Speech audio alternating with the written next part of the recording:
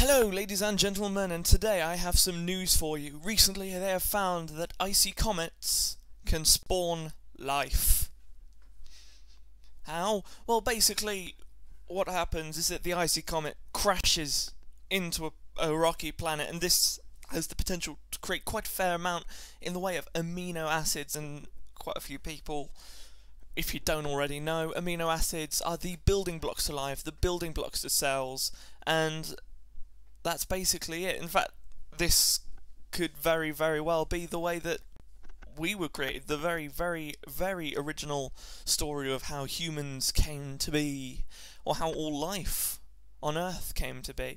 Um, this a very similar process can actually happen if a rocky meteorite crashes into an icy planet, and this sort of shows that there could be life, theoretically, anywhere in the universe, on any planet.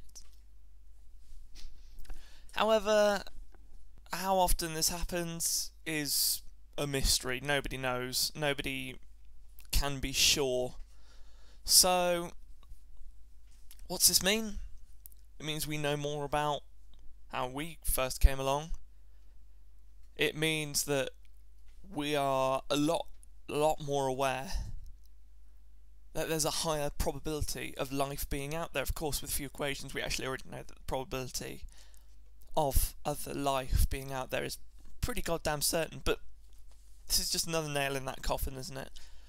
So, this has been JoeOfNerd. Like, comment, and subscribe. And until next time, stay icy.